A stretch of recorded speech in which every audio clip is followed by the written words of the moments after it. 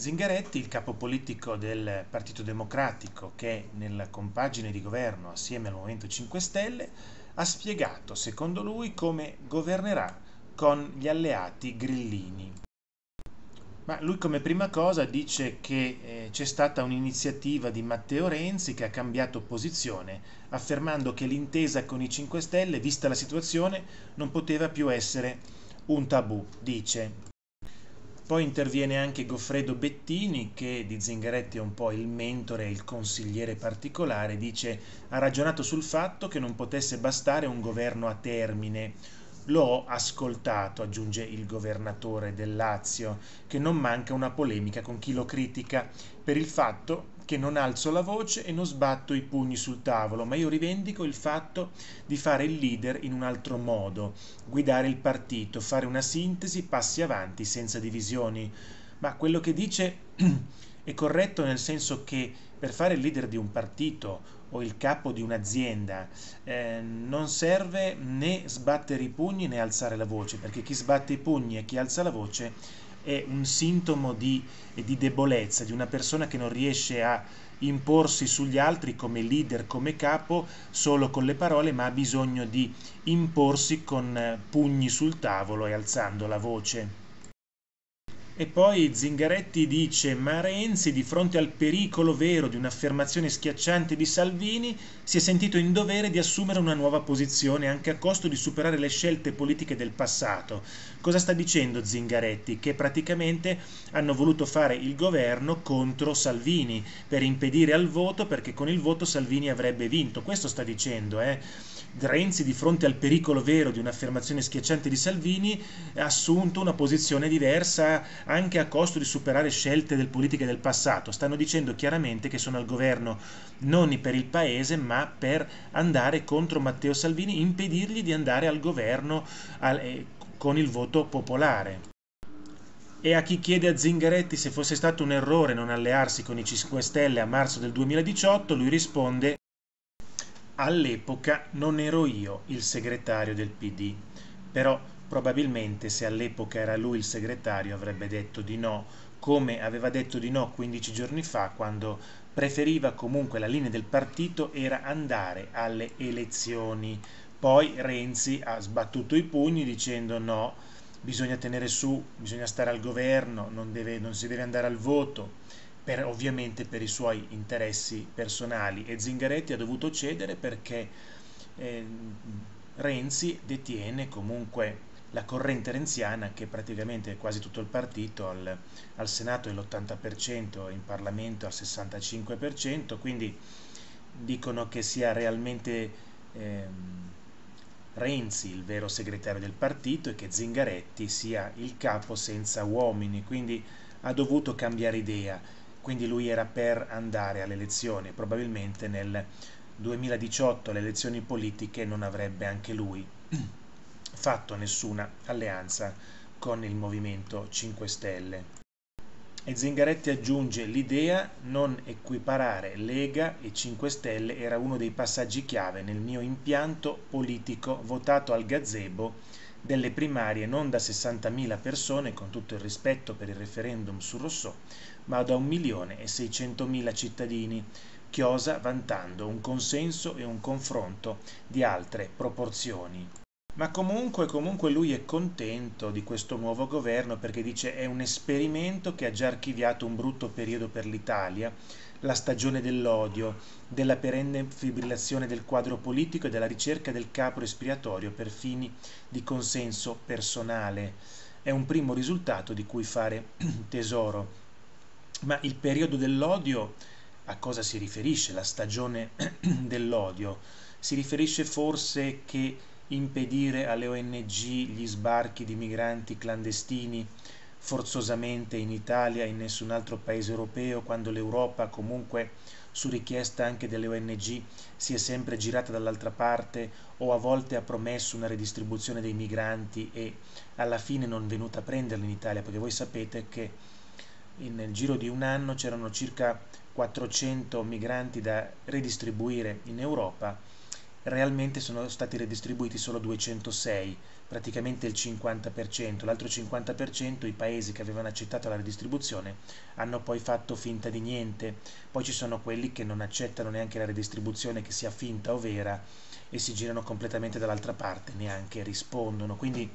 la stagione dell'odio, Zingaretti si riferisce al fermare le ONG e non far sbarcare eh, migranti in maniera illegale senza documenti?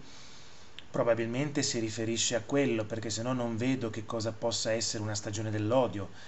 Lui considera quello dei migranti, dei porti chiusi, una stagione dell'odio, ma più che odio è la stagione di cercare di far rispettare i confini nazionali. Ovviamente molte volte si parla di profughi, ma non sono profughi, sono clandestini, sono migranti illegali. I profughi sono quelli che scappano eh, dalla guerra e voi sapete che di questi migranti sulle ONG che scappano dalla guerra è solo il 2-3%, la maggior parte sono persone che partono da tutta l'Africa,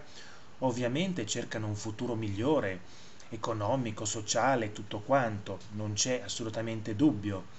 però in nessuna parte del mondo si entra in maniera illegale e senza documenti e senza requisiti. Quindi Matteo Salvini ha voluto e ha, affermato, perché l'80% degli sbarchi sono diminuiti,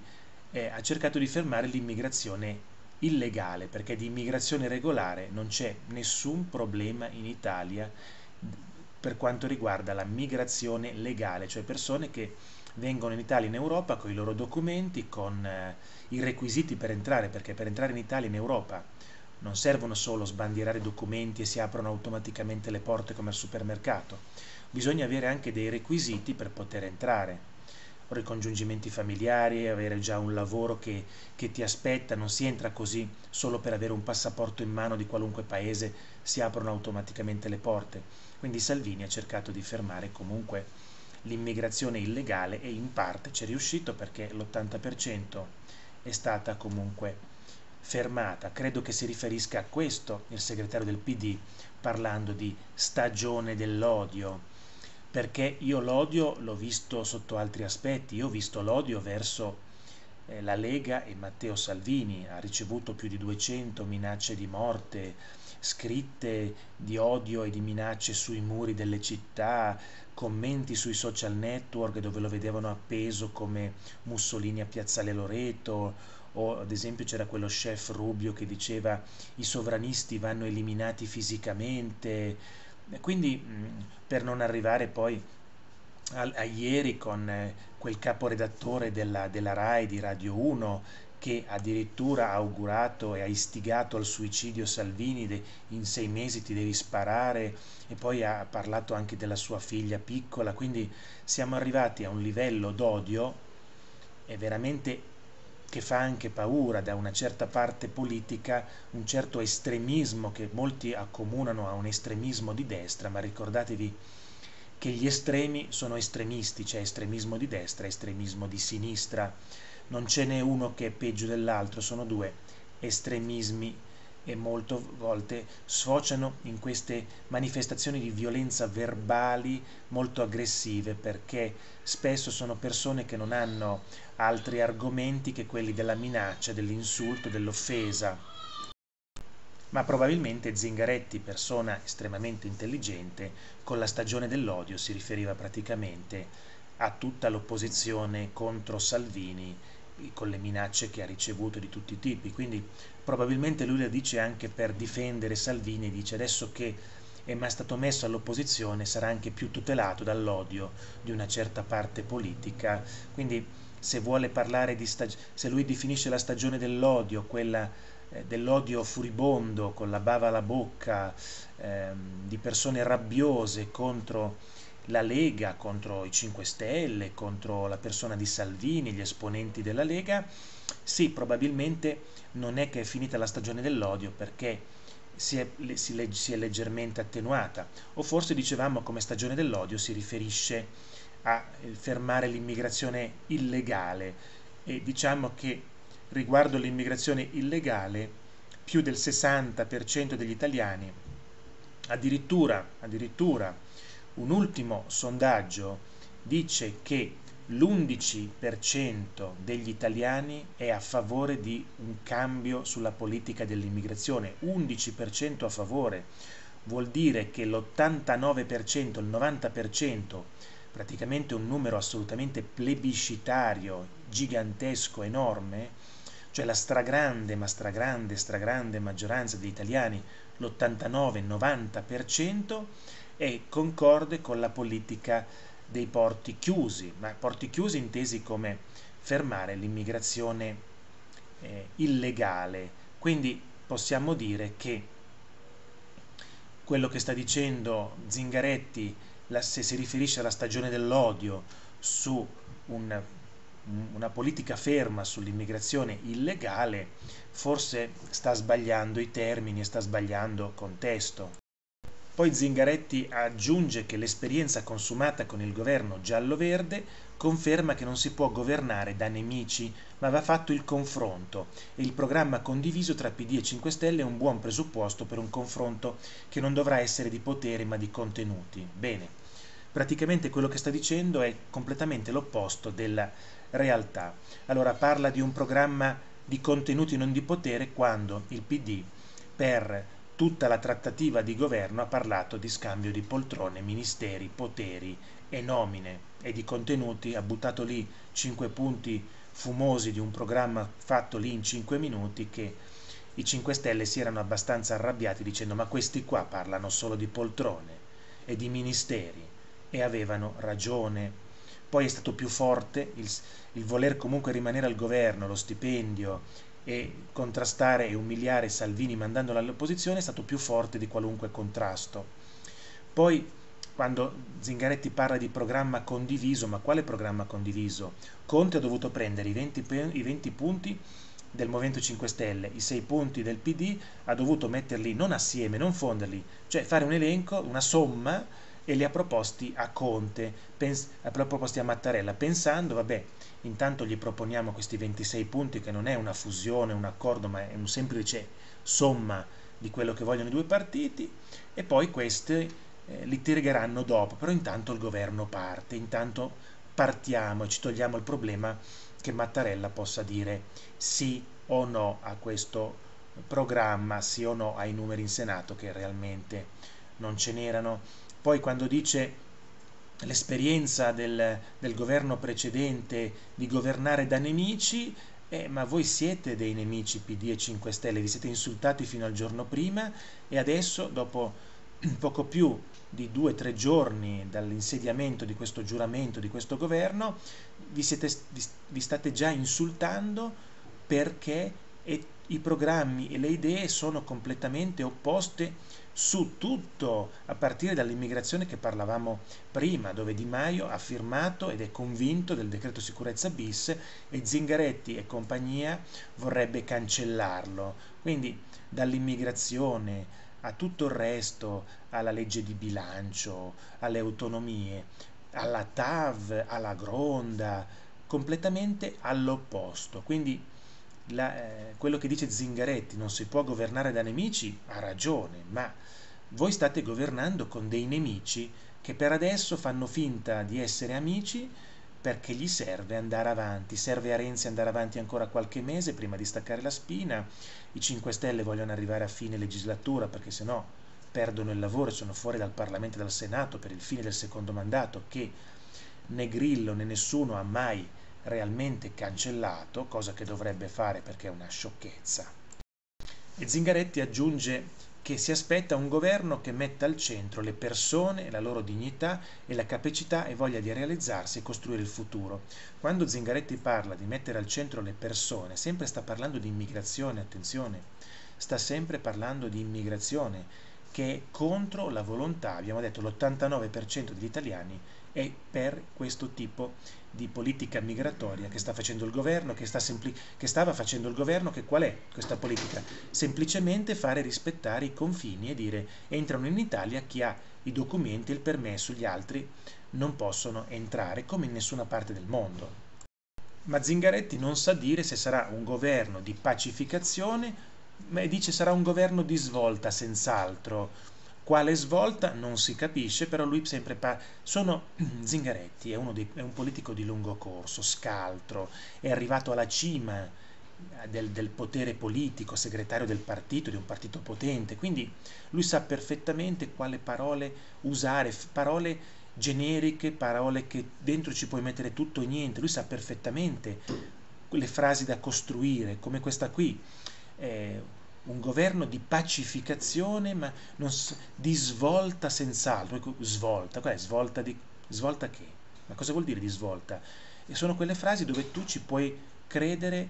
tutto quello che vuoi. Eh, ha detto un programma di svolta perché contrasterà la politica a porti chiusi. No, un programma di svolta lui non l'ha detto, ha solo detto svolta. Quindi lui sta attento alle parole che dice per non fare un giorno che qualcosa, ma tu hai detto, tu hai pensato, parla di svolta, generico, molto generico. E poi dice il rispetto reciproco deve essere una bussola costante dell'azione di governo. Avete, avete visto che belle parole, belle frasi che poi se tu le analizzi dici ma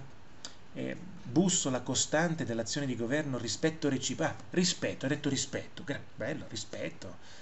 Rispetto reciproco, sì, rispetto reciproco, ma che voi state già insultandovi. Quindi, belle le parole di Zingaretti, ma all'interno c'è un po' l'eco dentro queste parole. Ma Zingaretti parla di un risultato immediato, che è quello del risparmio di 5 miliardi di euro di interessi sul debito, per, e questo è successo veramente, ma per il calo del, dello spread, che è l'indicatore che ci fa vedere qual è il, quanto paghiamo di interessi sul debito. Gli interessi sul nostro debito pubblico gigantesco, con lo spread calato a circa 140 punti, 145, scusatemi, ha portato comunque a un risparmio che se, ve, se, viene confermato questo livello di spread è un risparmio di, dai 2 ai 5 miliardi di euro all'anno. Sicuramente il cambio di governo per un nuovo governo ha fatto scendere lo spread, ma lo spread è sceso anche per un altro motivo, perché la, la, Germania, i conti della Germania, l'economia della Germania sta andando male, quindi se va male la Germania il nostro spread scende automaticamente anche se in Italia le cose vanno male. Però il cambio di governo ha eh, ringalluzzito i mercati, ma qualunque sia stato il cambio di governo ha dato una spinta positiva ai mercati, in più la Germania va male, quindi questo spread è diminuito da due parti opposte, si è compresso. Poi Zingaretti dice decideranno le regionali sulla base di convergenze di programma, come giusto che sia. Quanto alla legge elettorale, dopo l'eventuale taglio dei parlamentari, sarà uno dei temi da affrontare. Ma perché vogliono affrontare questo tema? Vogliono cambiare e tornare al proporzionale per evitare che Salvini abbia vita facile per poter eventualmente andare al governo eh, nella prossima elezione con un partito solo. Quando Salvini chiedeva pieni poteri, la sua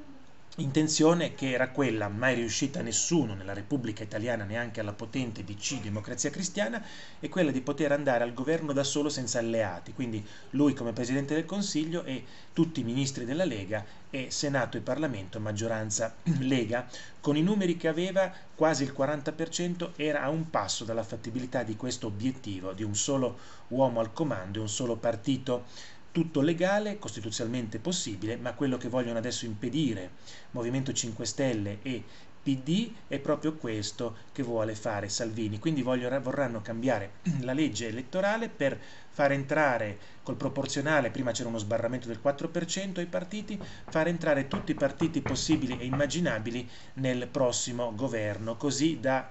limitare le ambizioni e la forza del, della Lega di Matteo Salvini. Con questo vi ringrazio e vi rimando al prossimo video. Arrivederci.